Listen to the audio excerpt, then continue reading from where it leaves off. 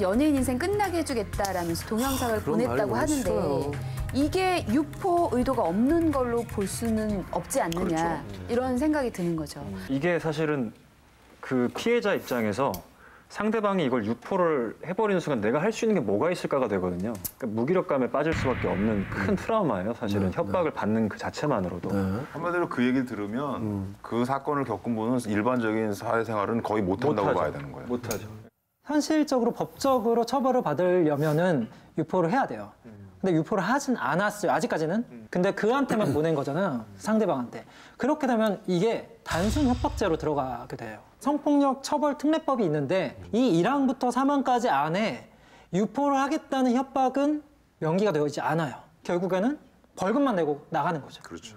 지금 실정법이 너무 약하다는 얘기 되게 많이 나오거든요. 네. 여기 나오면 뭐 5년, 진짜 그거를 상업적으로 이용하면 뭐 7년 뭐 이런 얘기들이 나오고 있는데 실제로 들어갔을 때는 돈, 돈, 돈으로 그냥 해결되고 뭐 이런 실제로 구속된다기보다는 그런 부분들이 나오기 때문에 그거 나와가지고 또 그런 사건을 벌이지 않겠습니까? 당연하죠. 그건 상당히 좀 법적으로 너무 약하지 않나 하는 얘기들이 나오는 거예요. 그 저는 제가 딱 나라에 원하는 게 두 가지예요. 음주운전이랑 이 협박 있죠. 네. 디지털 네, 성범죄에 성범죄. 대한 이 협박에 대한 그 형량을 아주 크게 해가지고 그 법을 좀 바꿔야 되지 않나.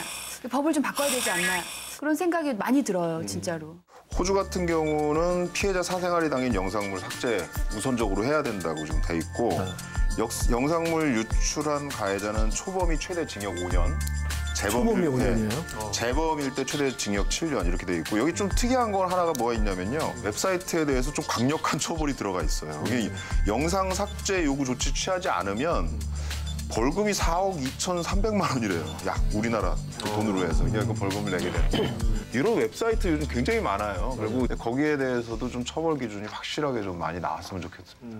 외국 법에 비하면 우리나라 법은 와, 그냥 일단. 무조건 징역을 때리거나 네. 네. 벌금 억대로 가야 정신 차리죠. 사실 그랬으면 좋겠어요. 성범 이런 네. 디지털 성범죄는 네. 청와대 청원 게시판에는요 디지털 성범죄를 강력 처벌해달라는 내용의 관련 글이 여러 개 올라왔다고 하는데요.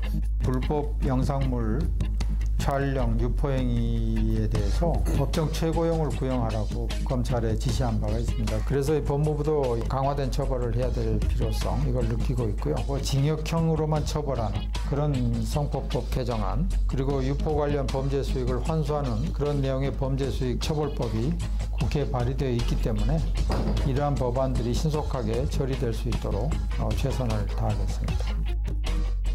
근데 사실은 하겠다는 말보다 하는 게 더 중요해요.